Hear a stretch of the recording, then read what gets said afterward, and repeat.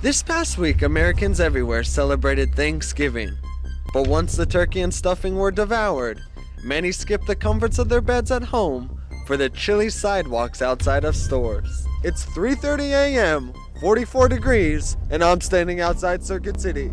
You may be asking yourself why. Well, for the same reason all these people are. It's Black Friday. right after dinner around six o'clock we came out here we got everybody together and been out, been out here since eight o'clock This was the scene outside of Best Buy in Woodland Hills, where the line went more than two blocks away from the store. A brand new laptop for $300? A 50 inch plasma TV for $700? How about a new digital camera for 75 bucks?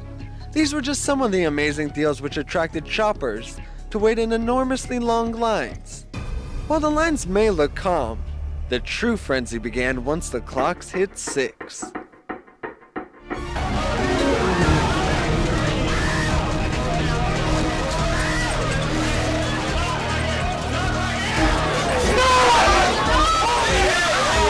lot, a lot of pushing, a lot of pushing. I'm, I pushed myself, you know. I was pushing a lot of people, and uh, next thing you know, this guy flips out, turns around, about to punch this guy, you know. people just shoving each other, people like no shoving, you know, no shoving.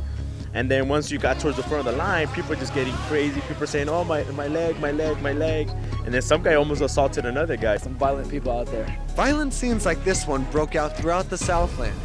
But not everyone's shopping experience was quite as traumatic. People wanting to escape the chaos of the doorbuster sales were able to find a much more subdued shopping experience on the 3rd Street Promenade. In the end, Black Friday isn't about the sales or the chaos, but about the experience of it all. It's, you know, it's one of those once a once a year thing. You know, you don't. I wouldn't do this every day. You know, sleeping on the streets, but I mean, it's pretty cool. I mean, just with a bunch of friends. It was a, it was a good time. I mean, it, it wasn't worth it for the sales, but it was worth it just to be with your friends. You know, it was pretty chill. If you missed Black Friday this year, don't worry, because it's never too early to start getting in line for next year. Reporting on Black Friday, I'm Noah Reich for DBTV.